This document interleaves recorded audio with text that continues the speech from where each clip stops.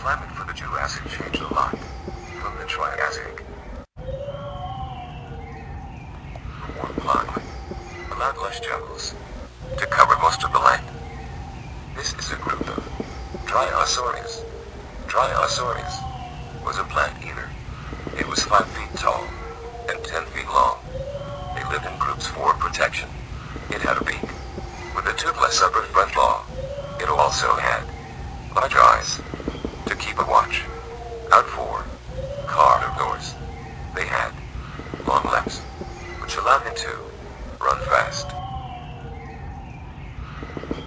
Is a of Stegosaurus.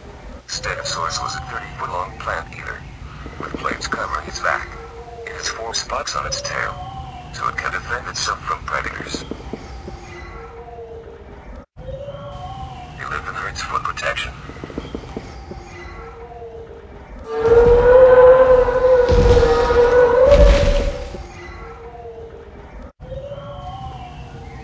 And this is the 50-foot-tall Brachiosaurus. Brachiosaurus was a herbivore. They lived in herds for protection, even though they were too large to attack. Other plant eaters stayed by them for protection. They may have weighed 80 tons. Their nostrils are on the top of their heads above their crest. That way, they can breathe while eating.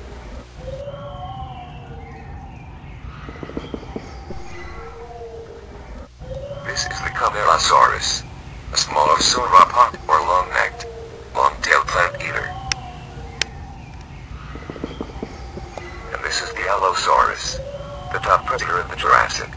They were fast runners and were very strong. They were six, two feet tall, and 30 feet long.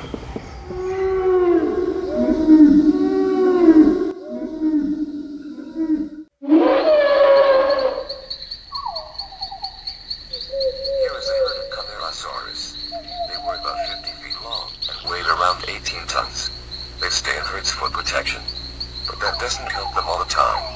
The group is searching for food, but they don't know they are being watched by this huge Allosaurus. The Allosaurus strikes and brings down a Camarasaurus.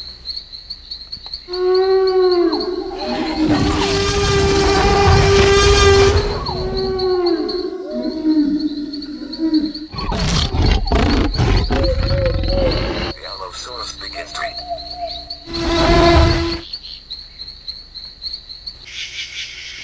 Bustoid strikes the Jurassic. It's this type of weather that makes the Jurassic so tropical. In the Jurassic, Pangaea was breaking up continents, Gondwana in the south, and Laurasia in the north. This Ceratosaurus is stalking a flock of Dryosaurus. He waits for the perfect time to attack. Ceratosaurus is the last of its kind. We don't know what the horn on its head was used for. They were fast animals.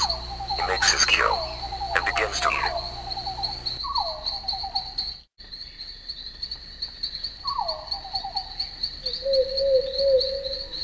This female Killed another Ceratosaurus. Once full, she leaves, and another Allosaurus comes and eats the rest.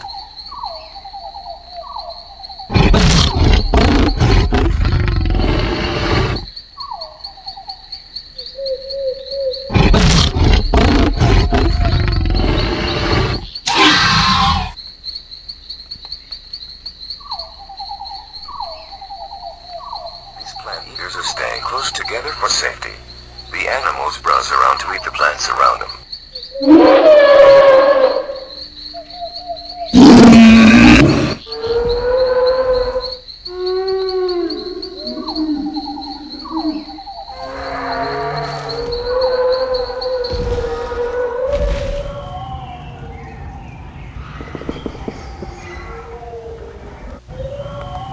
The Allosaurus wanders into them, but he isn't hungry.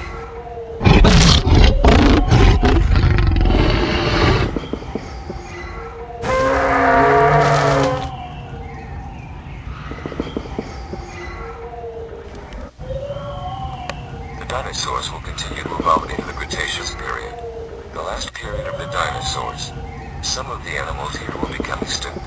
The Jurassic will end with a small extinction, but these animals will grow into some of the largest dinosaurs ever to walk the earth.